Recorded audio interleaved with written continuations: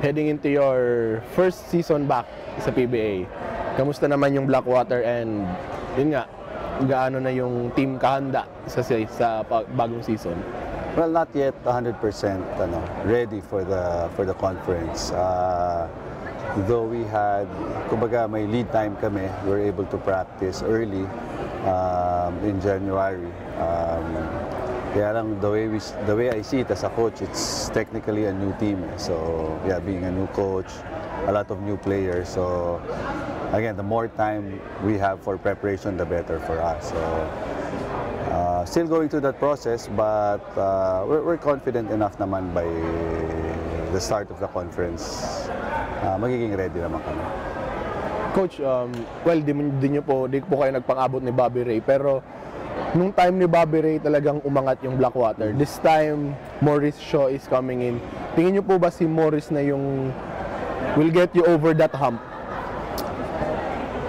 Well, ti- time only time will only time will tell. Uh, with regards to Maurice, uh, I know it's not it's not well. It's an open it's an open secret. Na success of teams really depends on how well your players are, are how, how good your players are. So, um, sa amin, we just, again, we just make do with what we have. Uh, kung anong klaseng players meron kami. Uh, my, the challenge really is for me to really bring out the best in, in all of our players. And hopefully that translates into wins uh, this coming conference. Coach, speaking of movement of players, yung trade na almost two weeks nang nababanban, yung Poy Aram trade, how that how does it affect the players? Because yung players ng Blackwater rin, di, di rin nila alam kung saan sila mapupunta eh. Well, siguro just similar to what Coach Yang said, it's it's really beyond our control.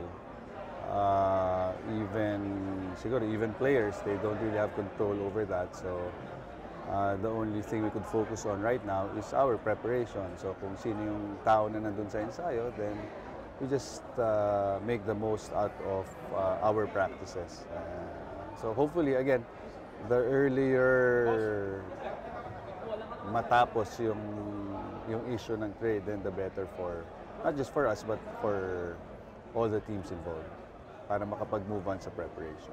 Yeah, it really it really affects our our preparation. Uh, actually, it's uh, well, the concern really is day-to-day uh, preparation kasi minsan hindi mo alam kung sino nandun sa ensayo, sino wala sa ensayo. We play tune-up games with with less people.